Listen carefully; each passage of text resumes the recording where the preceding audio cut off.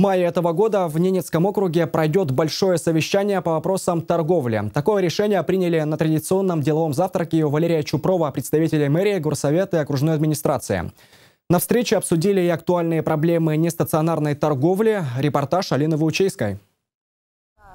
Известный на весь город торговый павильон в районе Кармановки. Здесь горожане могут приобрести и копченую, и вяленую, и замороженную рыбу. Владелец лавки Виктор Попов выловом и реализацией водных биоресурсов занимается аж с 1999 года. Тогда его отец создал крестьянско-фермерское хозяйство. А несколько лет назад Виктор выиграл на аукционе место под торговую точку. Ну, в дальнейшем был приобретен нестационарный объект Купава для реализации этой рыбы, так как требовало законодательство города. Ну и вот с тех пор мы занимаемся этой, этим видом деятельности.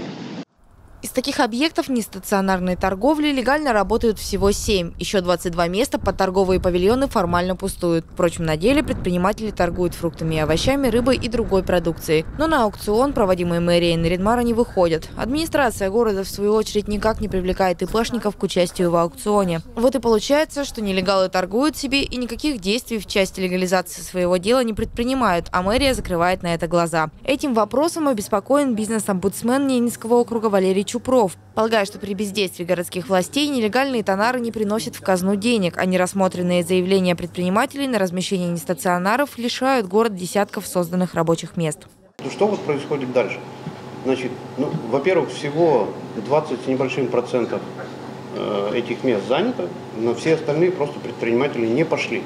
То есть, ну, так сказать, их не интересуют эти места или условия, или что-то еще, да, не пошли.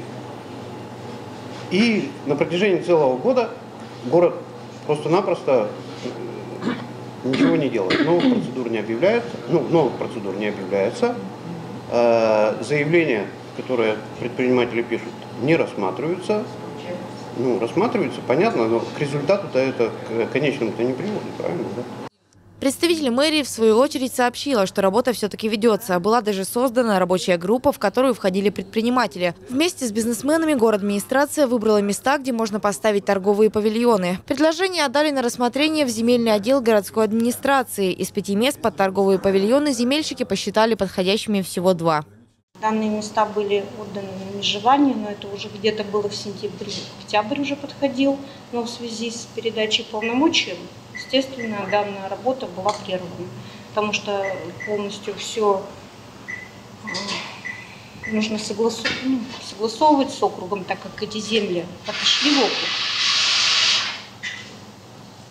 Поэтому работа была прервана.